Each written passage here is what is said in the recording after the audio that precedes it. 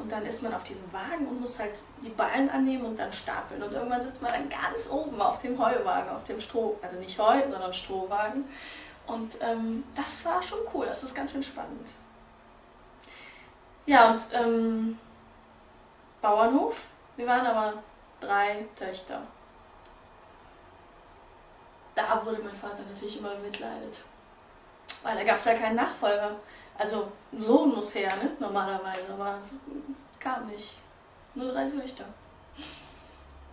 Aber ich fand es eigentlich cool. Und ich hoffe, mein Vater auch. Also natürlich musste der manchmal sich gegen seine Frauen durchsetzen. Vier an der Zahl. Aber er hat das immer ganz gut geschafft. Ja, vielleicht war er deswegen so powervoll. Wie läuft das mit dem Geld?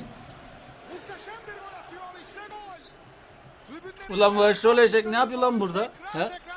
Bu çanta ne? Mike nerede? Hani çantayı getirecekti buraya? Apia. Selçuk. Aurello. Sağda Serkan. Serkan.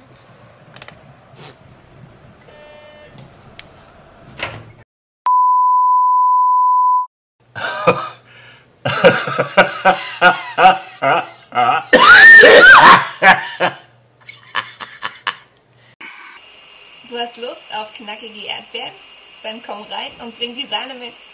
Ich erfülle deine Wünsche. Besuch mich im Chat und lass dich überraschen.